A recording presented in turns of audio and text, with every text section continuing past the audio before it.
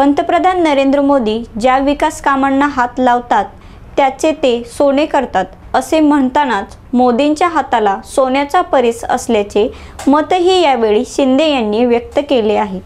तर इंडिया आघाडीसारखे किती रावण एकत्र आले तरी तुमच्या विरोधात उभे राहू शकत नाहीत.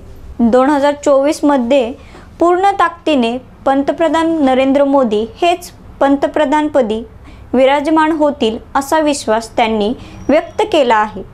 कितीही रावण एकत्र आले तरी पुन्हा मोदीच निवडून येणार आहेत. विकास कामे पाहून अनेकांना पोटदुखी होत आहे. आम्ही दवाखाना सुरू केला आहे असे म्हणत इंडिया आघाडीवर टीकास्त्र डागले आहे. पंतप्रधान नरेंद्र मोदी यांची लोकशाहीवर श्रद्धा आहे असे त्यांनी म्हटले आहे. तर मोदी पुन्हा येणार ही काळ्या दगडावरची रेग आहे असे बाळासाहेबांचे स्वप्न पूर्ण झाले असे मुख्यमंत्री शिंदे यांनी स्पष्ट केले.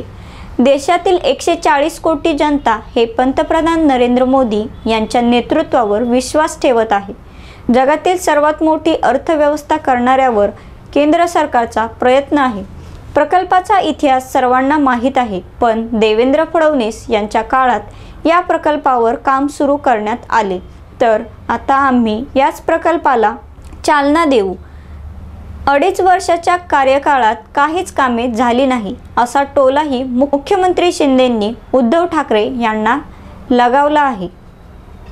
आपणास नवीन अपडेट देण्यासाठी प्रज्ञान या चॅनलला लाईक करा सबस्क्राईब करा आणि कमेंट करा.